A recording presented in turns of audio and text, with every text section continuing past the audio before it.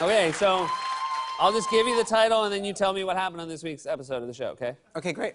The show is The Originals. Ah, the originals. Yeah. Do you know the originals? No, You've never seen any of it? no, Nothing. no. The pilot. No, I haven't seen any of it. I've never seen a minute of it. It's incredible. This is a uh, hospital drama.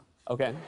and it's filled with it's very dramatic it's Okay. very very serious and it's filled with with cameos but the cameos are like just like just extras it's actors you know what i mean so like these actors appear and so like you'll kind of notice them like they'll, they'll step in as the nurse like uh, do you want a scalpel and then they disappear and you're like oh my god i think that's somebody i know and it's so it's this hospital in baltimore and it's huge Wait, hold on. yeah So they are or aren't famous actors?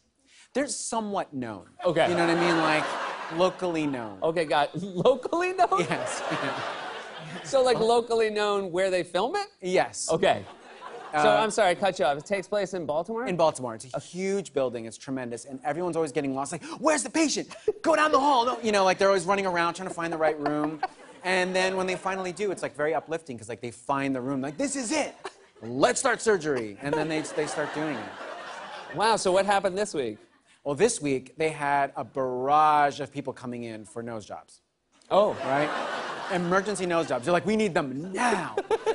They're like, do you want us to put you under or anything? I'm like, no, now. Just cut us open and do, do our noses. They're about 300, and they did them, and they come out and look beautiful. They're just like, they look great. that's great. Yeah. Now, okay, I don't want to call you out here, but according to the TV guide, the original. When you say that you, on. you don't want to call me out, What? aren't you calling me out? That you don't want to call me out? No, I'm sorry. That's a bad You do wanna call me out. I don't. No, I don't want to call you out. I, I'm. You know what? I'm probably doing here. I'm probably calling out TV Guide because I don't think you got it wrong. Great. Because obviously the show is what you say it is. Um, because this, according to TV Guide, they say it's on the CW, and um, Mm-hmm. the series follows vampire Klaus Mikaelson as he and his family become embroiled in the supernatural politics of New Orleans. This week, Elijah and Freya realize Rebekah may be part of the Strix's latest plan. Yeah, it's just completely wrong. They've not, I've not seen it. All right, well, well, you after this, you and I should pen a letter to TV Guide. I think we will. Okay, great. Thank you. Good it up for Fred, everybody. Thank you.